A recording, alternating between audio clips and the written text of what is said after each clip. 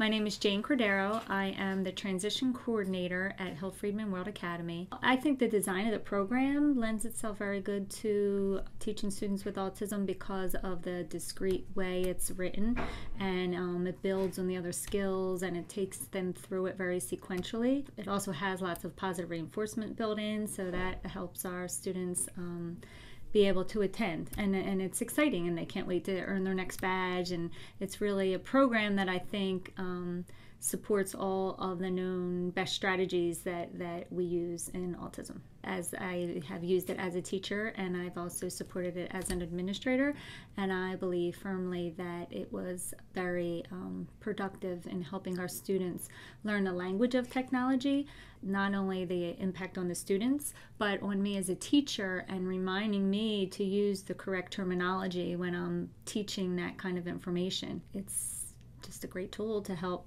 transition them into their adult world and, and become independent members of our society. We brought Digitability to Perkiomen Valley School District because of the topics, um, the relevancy of um, what Digitability brings to our di school district. The great thing about the lessons is they were tailored to our students to meet their needs. It also worked on evidence-based practices for behavior, for prompting. It really increased our student engagement, which was great. Every student got something out of the program. And I would definitely recommend Digitability to any school district looking to expand their transition programming or having students get ready for whatever serves them after after high school. All the materials were right there, so that has helped me a lot with finding engaging ways for my students to learn and for differentiation in my lessons. My career goals is to start to get a job and work with people who have the same interest in me because I want to do hairstyling when I grow up.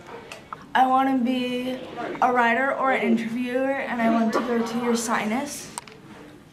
I want to be a firefighter. So far, I want to be a first grade teacher.